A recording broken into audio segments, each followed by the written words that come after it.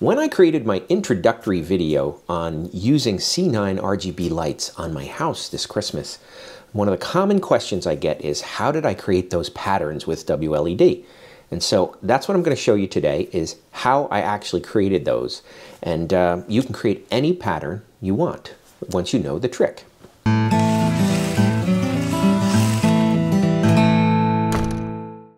All right, so this is the first house, the one that is just solid white. Now, this is, of course, the easiest case because you just pick the color that you want. You put it in color number one, and then you select solid.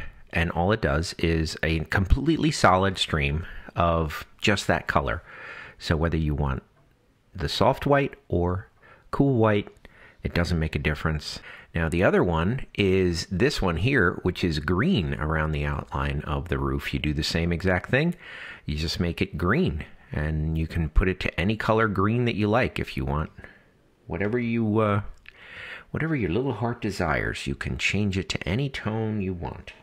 All right, now the next one here is a tricolor. This one is red, green, and white. So let's see how we do that. There's already an effect here called solid pattern tri. So what we're going to do is we're going to set red. We've got green here. And this one we're going to make warm white. And then we're going to use solid pattern tri and all three of them. It's the same pattern over and over and over again. And if you want, you can actually tweak this using this effect. The top one here is for speed. The bottom one is to tweak the effect. So what you can do is if you raise this up a little bit, you'll see now we've got two bulbs in each color. So that's a nice thing too. If you if you want, you can make it wider, you can make it whatever you want. And here you have three bulbs in each color. So that's easy as long as you want up to three colors, or I shouldn't say up to. If you want exactly three colors, you can use this solid pattern tri. Okay, now let's take this case here where it's just simply red and green alternating. So how would we do that? Well, if you want to do this, the only thing, the only way I've found to do it is to use segments, and you have to really master segments with WLED in order to get custom colors the way that you want them. So the simplest case here is just with two segments, one for each color. So I'm going to create this one segment, and I'm just going to call this the red one. And right now it is solid. The whole string is solid red. Now there are two settings here that you need to pay attention to. One is grouping and one is spacing. Let's just start with spacing. It has a spacing of zero. That means that it wants, you want these bulbs to be red, one right after the other. If I just change this spacing to one and click apply, you can see how the spacing has changed. Every other bulb is now out. Okay, now what we're going to do is we're going to add a segment for green and give me a second. It, it just, it does flake out until I, I get it in there the way that it needs to be. We're going to make that green. And then what we're going to do is we're going to say, I want the start LED to be 1 and the spacing again be 1. Okay, I'm going to turn that one off and I'm going to make this one green. All right, now you can see every other bulb is red and every other bulb is green because purely of the start LED. Okay, so these are two segments that actually overlap. So that's that's the key. And as long as you could do that, you could do anything. So let's just say we wanted two red and then a green every now and then. Okay, so let's do this. Let's get rid of the green segment. And let's change this to I want a grouping of two. All right, now what that does is it's two reds, and then the next one is off. Okay, so now we're going to create another segment here. I'm going to call this one green. And I'm going to say this is going to start at LED 2. Remember, 0 is actually the first one. So this is going to start at the second one. I'm sorry, the third one in, believe it or not. And then I'm going to say I need my spacing and you can see while you're doing this, it's kind of funky. It doesn't work. You have to you have to tweak it. So I needed to start at two. The spacing needs to be two.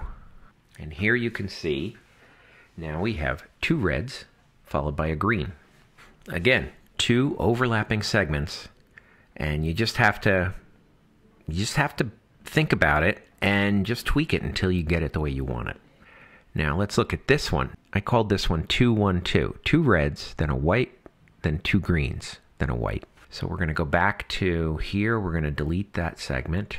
It's going to start at zero, and then the grouping is two, but the spacing is going to be four.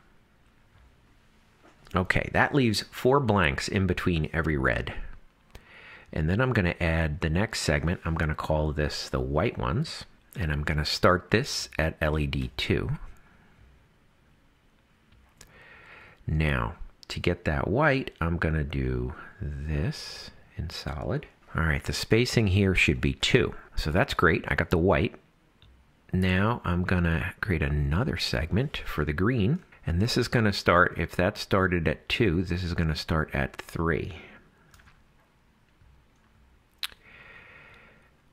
And here, I'm going to say my spacing is 4, and my grouping is 2. But I need to make it a green. All right, there you go.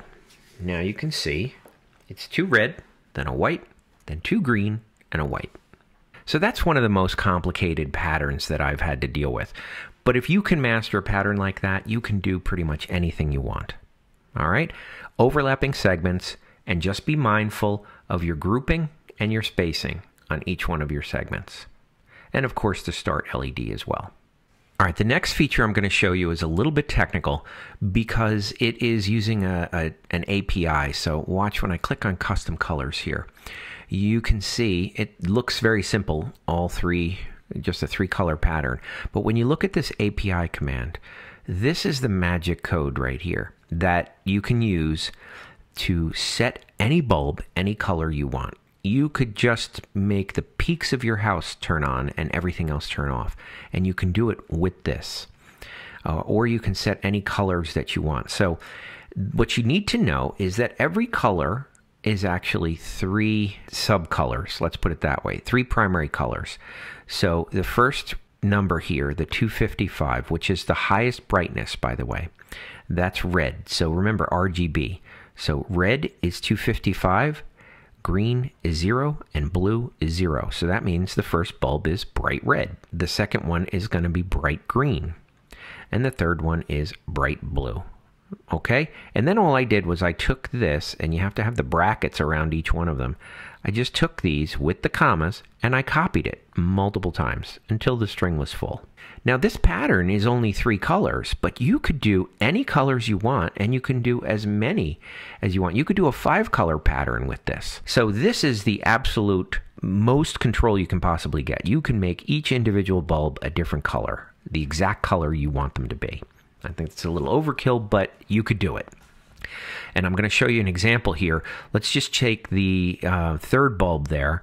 I'm going to change it. That's the one that's blue. I'm going to change that to 255 red, then 0, then 255 blue. When I click Save Changes here, you'll see it just changed to like a purple color. So let me go back to my three colors. This one uses solid pattern tri, okay? Red, green, and gold. Now, Let's say I want to make these the colors of my favorite NFL team. Let's just say I come in here to a site called teamcolorcodes.com and I search for Pittsburgh Steelers.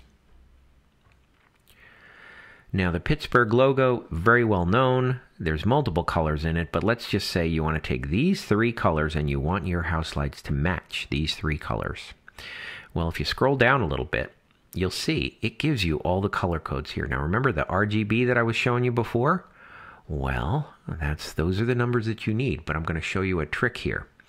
So let's look. I have color 1 selected. You can see color 2. You see the heavy circle around it. So color 1 is selected.